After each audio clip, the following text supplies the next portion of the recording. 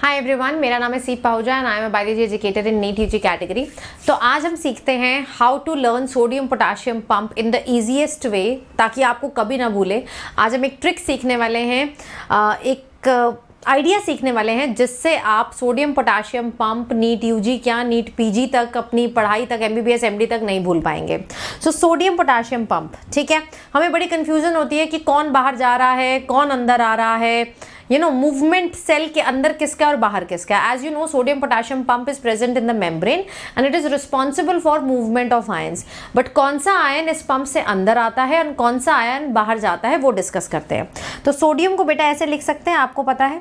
N A plus is sodium and K plus is potassium और एक item या फिर एक आयन क्या करेगा? बाहर जाएगा। यानी कि one of the ion will go out O U T one of the ion will go in ठीक है? अब आप नोटिस करिए सोडियम में एन ए पॉजिटिव में कितने डिजिट्स हैं? कितने लेटर्स हैं? वन टू थ्री ठीक है?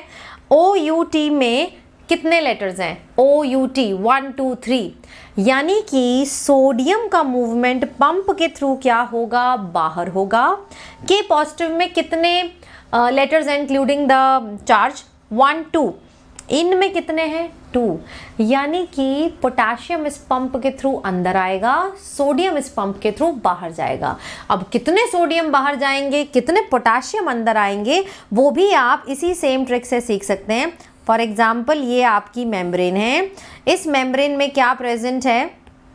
सोडियम पोटाशियम पंप प्रेजेंट है। Sodium potassium pump. Sodium potassium pump will throw 3 sodium out and will take in 2 potassium in by expenditure of 1 ATP. Three sodium कैसे किया सब कुछ थ्री है बेटा इसमें N A positive three O U T three and three sodium out K positive I N two and also two यानी कि दो पोटेशियम इन सिंपल सो जब भी सोडियम पोटेशियम पंप चलता है, तीन सोडियम बाहर फेंकता है, दो पोटेशियम अंदर लेता है.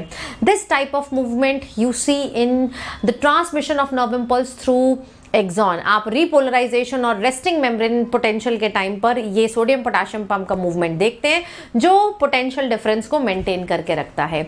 आई होप बेटा ये ट्रिक आपको क्लियर हो गई है। मुझे कमेंट सेक्शन में बताओ, इसको शॉर्ट में करके लिख दो कमेंट सेक्शन में that three sodium out two potassium in किस तरीके से आप याद रखेंगे।